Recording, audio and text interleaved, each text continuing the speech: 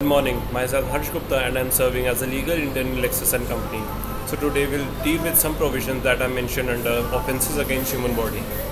Offences against human body encompasses a wide range of criminal offences that typically entail bodily violence, the fear of bodily harm or other actions taken against an individual's will. Section 299 to 377 lays down several offences relating to the human body.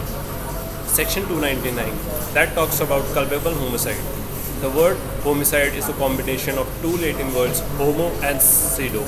Homo signifies human and pseudo denotes human killing. Homicide is defined as the killing of a person by another person. Homicide must be lawful or unlawful.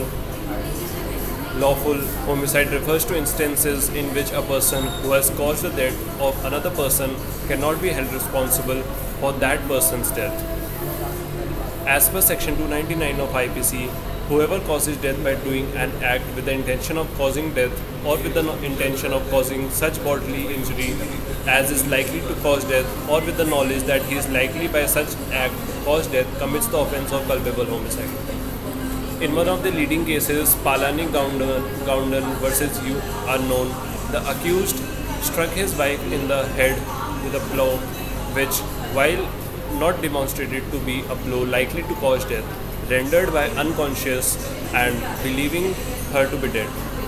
The accused strangled her on a beam and with a rope, thus causing her death by strangling.